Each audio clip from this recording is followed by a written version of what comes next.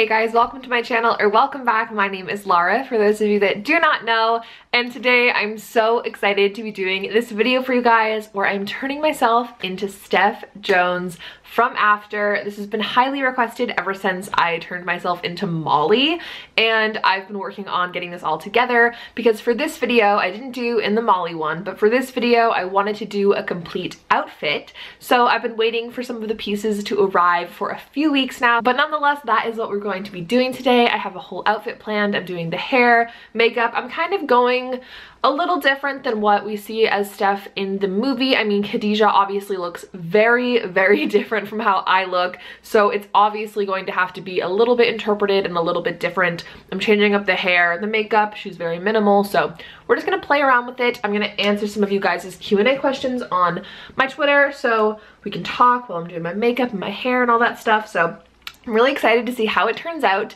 So let's just get started. I'm gonna open up to the questions. The first thing that a lot of people are asking me about is how New York was and how it was like to meet um, Hero, Jo, and Anna. And I know I didn't really touch on it because I did do the vlog, but I didn't talk about like my experience per se meeting them. I think it can be like easily interpreted what my experience was like meeting them. But since you guys are asking, I guess I'll kind of touch on it.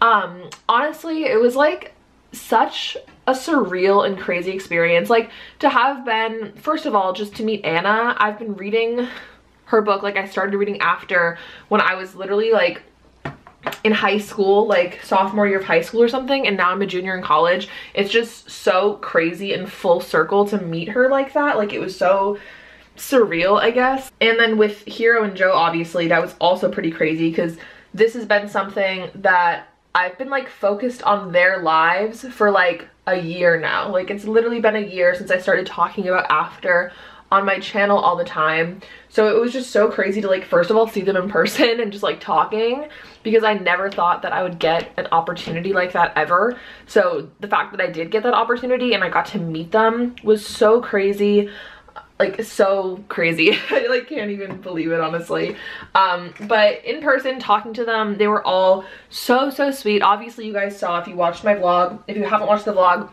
I'll have it linked down below. But obviously all of them were so sweet to me. If you didn't notice, so what happened was my friend Matt obviously came with us and he went in front of my friends to go meet them first. And then once he was done, he like ran back and grabbed the camera and then started filming so that he could get a shot of me meeting them.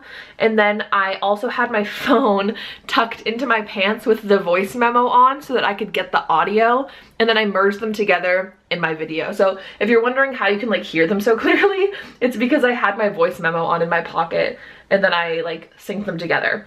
So that's how you can hear it. I was like really nervous about how that was gonna go because I really wanted to have something to like remember the moment by. We couldn't do pictures. Obviously, if you guys know about the New York signing, there was kind of a lot of rules and it was very quick. I'm still forever grateful for like the experience and it was still super fun, but it was very fast.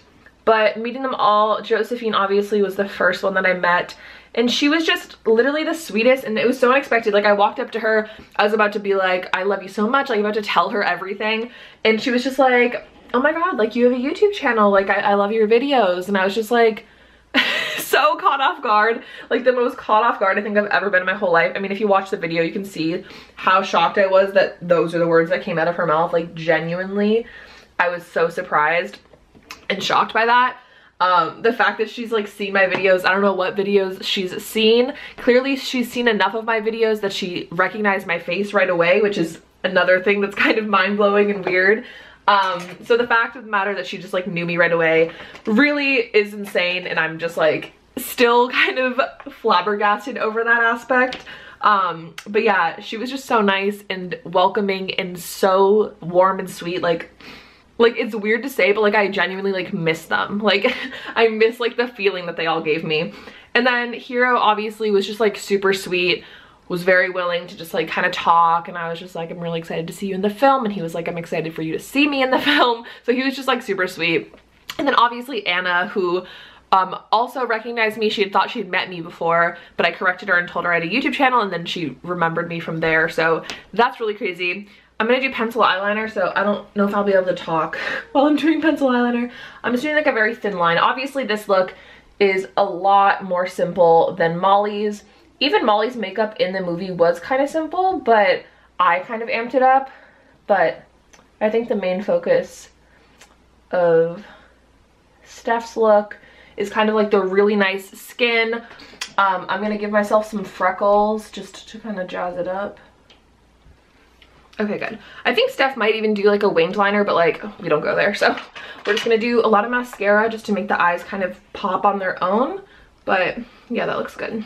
But anywho, overall, New York was just like the best experience of my life. The fact that I got to meet some of my friends from online that are a part of the After community. You guys obviously saw in the vlog, LexCourt and Lexi. I love them so much. We're trying to meet up again this year. I mean, me and Lexi live pretty close, so we're gonna go see the movie together when it comes out. So that's really exciting. But it's just so crazy how you can like meet people online and make like these real connections with them and like they become like your real best friends. It's so wild to me. I never expected that from this like journey of starting to talk about after on my channel. Like I never expected any of this at all. So I'm just so grateful for all of it and thankful. And it's just been a crazy journey. But yeah, New York was so fun. All in all, I had the best time ever. And meeting the cast, Jo and Hero, and meeting Anna was just like such a delight and I was so happy to be there. So yeah, I guess that answers that question hopefully. Let's see, I know you guys are asking me questions about the movie and stuff like that. So, hmm. A lot of people are asking me what I think the worst things that Tessa and Hardin did to each other were. Um, and also, what was the other part of the question? If I would have forgiven Hardin for the bet. I think I've talked about this before, but probably not. um, yeah, I don't know. I don't think Tessa's like stupid for forgiving him, but I definitely don't think I would have. Like, if people break my trust that hard, like, I'm kind of over it. so, I don't know. I don't think I would have been very forgiving of that. Um, but regarding them, I feel like Hardin's past is super difficult. He's obviously gone through so many horrible decisions and life choices and just like situations in general that he's been put in that maybe were like out of his control just when he was younger and stuff like that. So he's a very damaged person and so the bet obviously was super bad. I think the worst thing he's ever done wasn't even something he's done to Tessa, but what he did to Natalie. Um, obviously we learn about that in the series. Natalie, who's from England, and he sorry i'm like doing mascara and trying to talk but natalie who he bet his friends that he could have sex with too and then there was the whole situation there. So i feel like that was the worst. I mean he like filmed her. All that stuff is really bad. So that's probably the worst i think he's done. For tessa probably just cheating on hardin and like kissing other boys in front of him. Not cool. Not a good thing to do when you're in a relationship. So yeah probably that Okay, I think I'm done with the eyes. Again, just like super simple. Um, don't want to go crazy. Oh, a lot of people are asking me how I actually found After, which I didn't realize so many of you guys didn't know, like how I found the, um, the book series or anything like that. But if you don't know, I know a lot of you guys are newer subscribers because I've gained so many subscribers this year, just recently. So thank you very much if you're a new subscriber. That literally means the world to me that you like me enough to click a button and watch my videos every week. It's honestly the best feeling ever. Um, but I realize a lot of you guys probably don't know a lot about me. When I was like, I'm 21 right now if you don't know, but when I was like 14, 15, 16, One Direction was my whole life. I was so obsessed. I had like a stan account on Twitter for them. They were all I thunk about, talked about. Like literally, I was so obsessed. Like the amount of, of obsessed I am with After, but probably worse. Like I was insane. Um, obsessed with them. Harry Styles especially was my favorite. So I had like this really big obsession with them. And obviously as a huge fangirl I loved reading fan fiction. And After was a fan fiction that I just randomly stumbled upon um, on Wattpad when I was I think 15 and it was still like the first book being written when I found it. So nothing like too crazy had happened yet I know I'm using my hands. Do you guys use your hands or do you use brushes? Also, I'm putting my concealer on first, which a lot of you guys were coming for me for last time. So let me know what you guys do. I'm curious. Anywho, um, so I found the fan fiction pretty early on and then I started reading it. I like became obsessed. I made my best friend at the time, McKenna, who you guys have seen in my videos. Um, I made her read it because she was also obsessed with One Direction. And so we both read it. We were both obsessed. Literally, we would like sneak away during school when Anna would post updates so that we could read uh, the new chapters. Like we were like so in deep with this book. And so when it came out, I think in October of 2014 as a published book, I went and bought it right away. I was so obsessed and excited. If you guys look on my channel, you can watch like my first video where I bought the book like in 2014. So I've been a fan for a really long time. I think a lot of you guys don't realize that. But yeah, I definitely have been. Um, I've been talking on Twitter about how I want to do a video where I react and look at my old One Direction um, like fangirl stan Twitter tweets. I think that would be like the funniest thing ever. So let me know if that's a good idea if you guys want to see that. Um, but yeah, also this foundation, a little too dark for me. I didn't remember which color I had before when I went and got a new one. So I picked the wrong one, obviously, because why would I remember? But it's a little dark, but I think if I blend it in and put powder on, it'll be fine. Hopefully. I don't think it, I mean, on the camera, I think it looks normal, so maybe like a shade too dark for me, but it's just like a light foundation. It doesn't look like Steph or Khadijah is wearing anything too crazy on her face. Her skin just looks kind of like naturally perfect because Khadijah just kind of like has like really good skin as, you know, a model and, and a beautiful person in general. So we're just kind of faking it a little bit. Everybody always tells me I have good skin and I'm like, I think it's like the light and the camera. Like my skin really isn't killing it by any means. So thank you, but I don't know about that one. okay. I'm gonna set it with some powder, just a little bit, and then I'm gonna do the rest of my face, brows, and then lips. It's so weird that I do brows like last. I know people do brows before their eye makeup a lot. I don't know. Again, with the everybody does their makeup different thing. I don't know.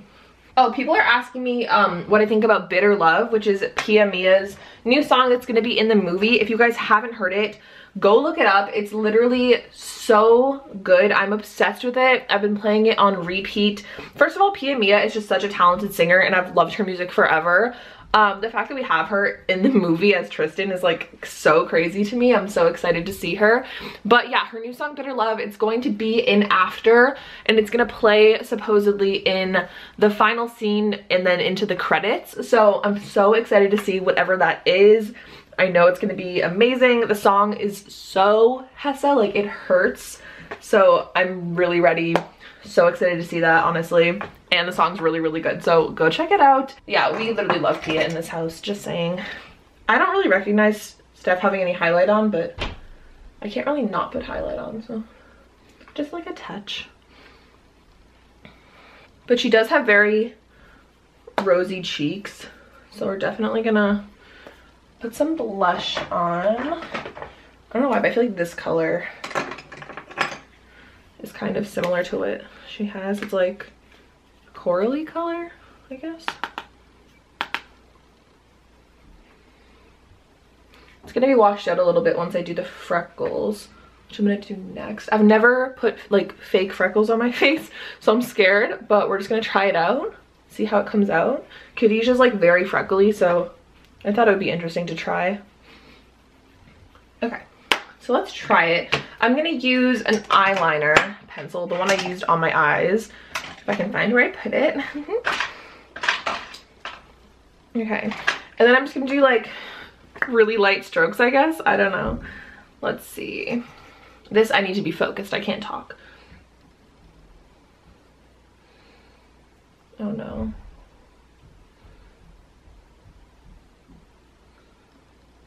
Okay, some of these are definitely too dark but I think if I fix it, it won't look too crazy.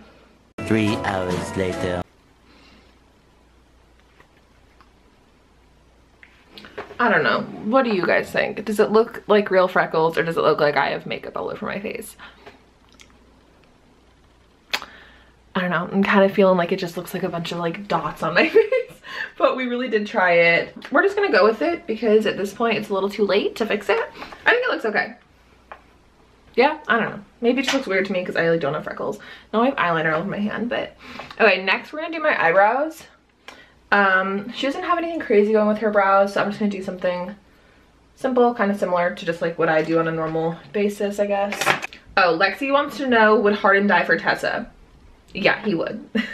oh, a lot of people are asking me to talk about the comparison of After and Fifty Shades of Grey, which I've touched on in the past before, I believe, but I don't really think I've given like my full idea on it.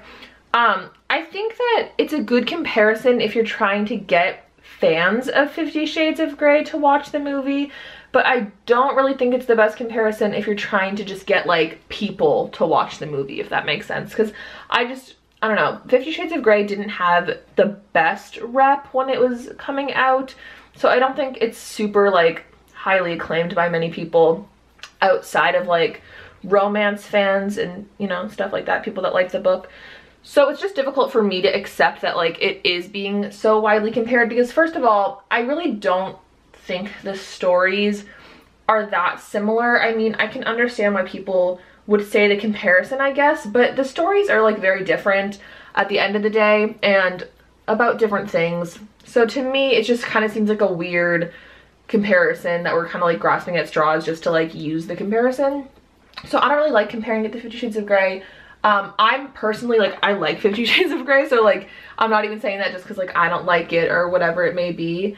It's just like, I don't know. I want people to want to see after. I don't want people to think that it is exactly Fifty Shades of Grey because again, it's like a completely different story.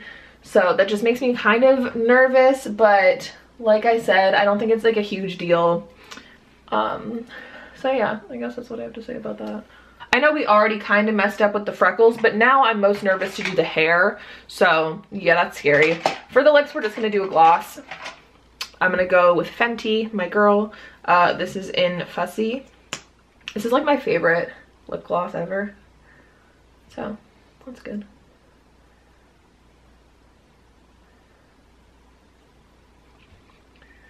Okay.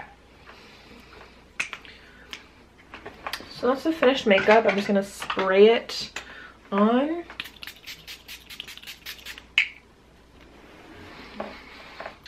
Okay. So this is the finished makeup. Again, very simple, minimal, freckles. We don't know about it yet, but okay. For the hair. So as you can see, my hair is in braids right now. Now here's the thing. In the movie, it looks like Steph is wearing a lot of French braids. Your girl can't do French braids. Also, her hair is very long. My hair, it's pretty short. So we're gonna kind of improvise, I guess. Um, what my plan is, is to take out these braids that I've had in since this morning and hope to God that my hair looks kind of wavy. And then I'm gonna put in the red streaks and then I'm gonna do a braid on each side, like a small one, and then I'm gonna do a ponytail on each side. I think that'll look kind of similar to the uh, the look that Steph has, Khadijah has in the films, but it'll be kind of modified to suit my hair better. We'll see I guess. I don't know. So hold on let's see. I have hair elastics to do that.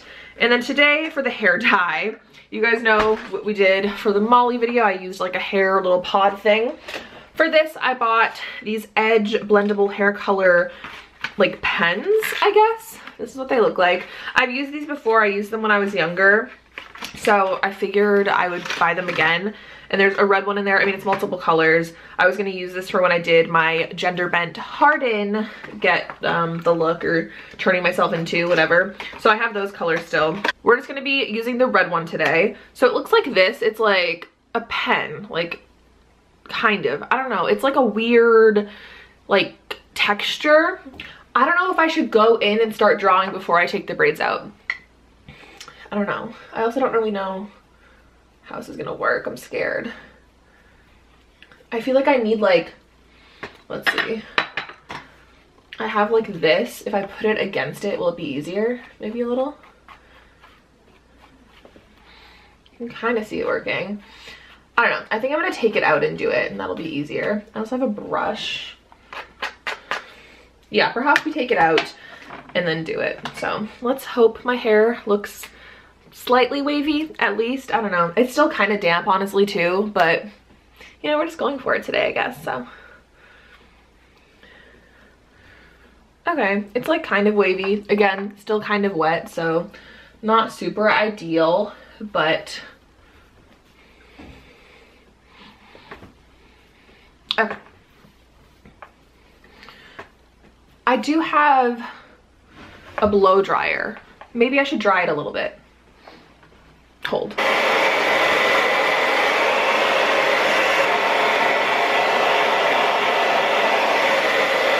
Okay, so this is kind of what we're working with. I just wanted my hair to be a little more like texturized compared to just like my pin straight hair in a ponytail.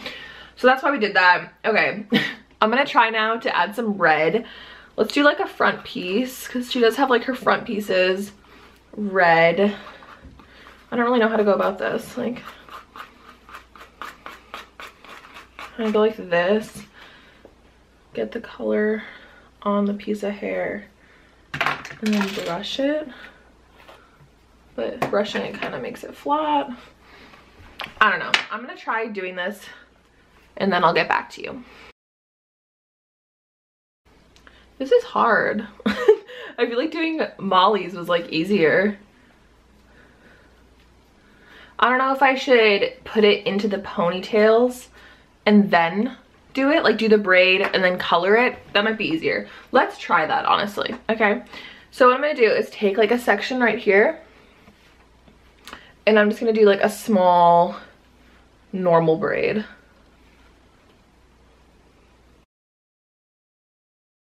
Like I just can't do French braids. I don't know how. If you guys like know how, I'm so jealous. And if you have any good tutorials to learn how, please let me know. But okay, that's just like a normal braid. I'm only gonna do it like halfway down because it doesn't really matter. But let's see now if with the braid, I can add some red to it. Yeah, that's so much easier, wow. I'm just gonna rub it in. Yeah, that's a lot easier. Okay.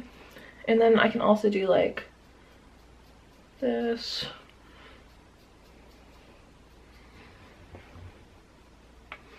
Okay, and then we'll do a ponytail.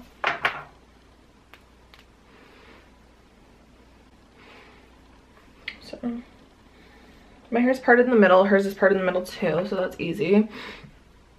And then, I guess just kind of up a tiny bit.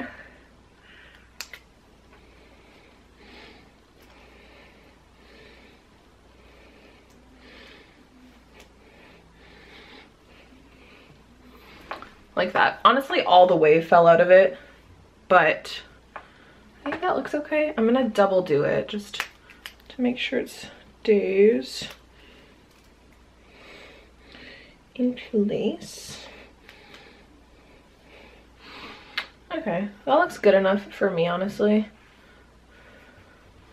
Kind of like, kind of like brushing it.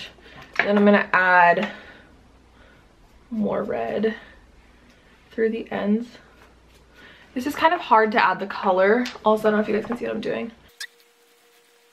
I'm gonna focus on getting like the ends of the hair the most saturated.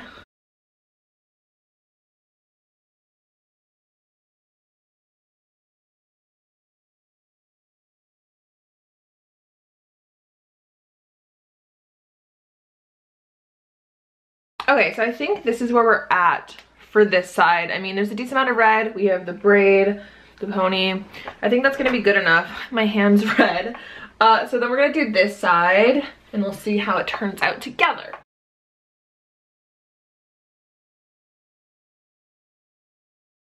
This dye stuff also makes your hair have like the weirdest texture, not even gonna lie.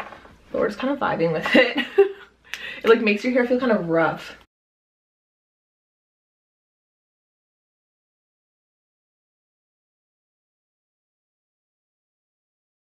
And then we're gonna go in with the dye.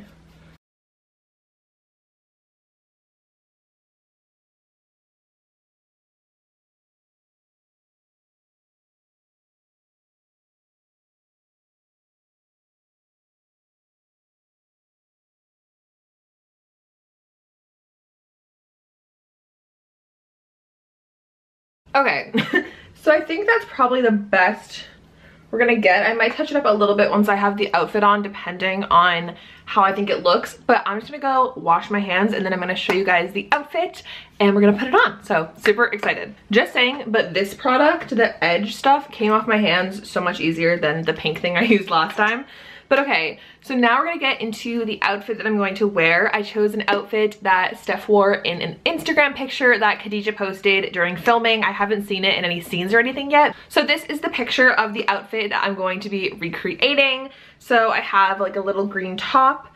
I have a black long sleeves sweatshirt. It's not the exact one, neither is the top. Um, I got one that I made sure had black strings. The one she has was sold out, so I couldn't get it. But this is just like a cropped black sweatshirt. I got the exact pants that she's wearing from Lily Biachi. I'll be posting all of the stuff down below that I got, by the way, just so you guys can see. But they're like these long red pants with like a checkered side. And then I got these cherry earrings that she wears. And then I just kind of got some rings, just random ones because she was wearing a lot of rings. So I'm going to go put this on and then I'm going to show you guys the end result of what I look like. Also forgot to show you guys, she does have white Doc Martin boots on, so I have those as well. That I'm putting on right now. I have the whole outfit on. I'm gonna go and show you guys out in my living room where I have a full length mirror. But oh my god, you guys, I'm so excited with how this turned out. I think it looks pretty spot on. I mean, obviously me and Khadijah don't really have the same body type at all, but I think the outfit looks really good either way. So I'm gonna bring you out there and I'm gonna show you how it looks. Okay, so as you can see, I have the hair the, uh, the cherry earrings, uh, the makeup I think looks pretty good. And then coming out, we have the green, just like tank top, and then the black sweatshirt over top.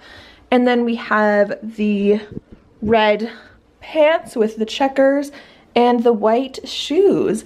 So I think overall, this outfit came out so good. I mean, obviously, like I said, she's like kind of a skinny legend and we're kind of like a curvy legend. So looks a little different, but I'm still just like so happy with how it turned out.